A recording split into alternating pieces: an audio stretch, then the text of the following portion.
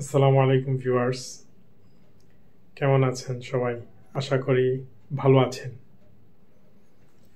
আজকে একটা বিষয় নিয়ে আলোচনা করব যেটা নিয়ে অনেক অভিভাবক বর্তমানে খুবই বিড়ম্বনার মধ্যে আছেন।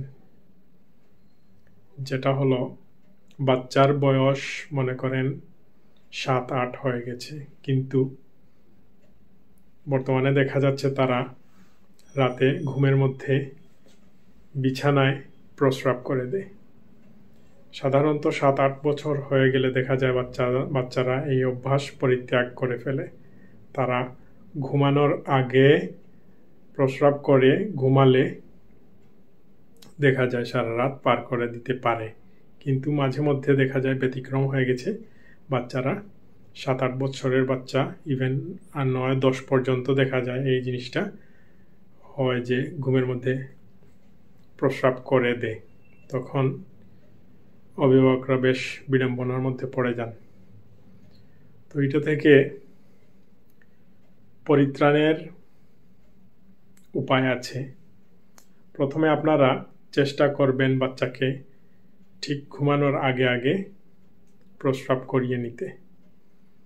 প্রস্রাব করিয়ে তারপরে ঘুমালে এবং যদি সম্ভব হয় তাহলে মাঝরাতে একবার ঘুম থেকে তুলে প্রস্রাব করিয়ে নিতে পারেন কয়েকদিন। তারপরে দেখা যাবে অভ্যাস হয়ে গেছে বাচ্চার।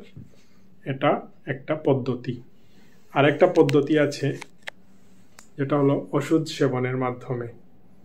যদি দেখেন যে ওই পদ্ধতিটা, প্রাকৃতিক পদ্ধতি যেটা, সেটা কাজে আসছে নাই, তখন ওষুধের আশ্রয় নিতে হবে। ওষুধটা আপনাদের খুবই পরিচিত একটা ওষুধ। দেখে নিন ওষুধটা কী।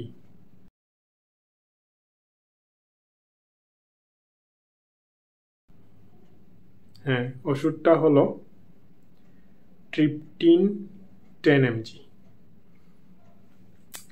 এটাকে আমরা সাধারণত একটা ঘুমের ওষুধ হিসাবে চিনি।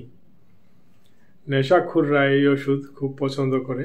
এটার গ্রুপ নেম হলো এমিট্রিপটাইলিন এবং এটা খুবই সস্তা একটি ওষুধ এক পাতার দাম নয় টাকা মাত্র।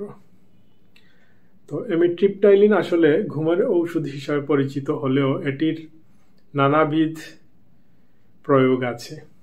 এর মধ্যে একটা হলো এই যে প্রস্রাবকে কন্ট্রোল করা। তো আপনারা যে সাত আট বছরের বাচ্চা, তাদেরকে প্রতিদিন রাতে ঘুমানোর আগে অর্ধেক টেন এমজি ট্রিপটিন অর্ধেক খাইয়ে দিবেন। এইভাবে বেশি না, পাঁচ দিন খাওয়াবেন। আশা করি ভালো একটা রেজাল্ট পাবেন। যে বাচ্চারা আর পরবর্তীতে হয়তো প্রস্রাব করবে না। তো ভিউয়ার্স ভিডিওটা যদি আপনাদের উপকারে আসে, তাহলে অবশ্যই পরবর্তীতে আরও এই ধরনের বিভিন্ন ঔষধের রিভিউ এবং ইনফরমেশন পেতে চ্যানেলটি সাবস্ক্রাইব করে সাথে সাথে থাকবেন। ধন্যবাদ সবাইকে।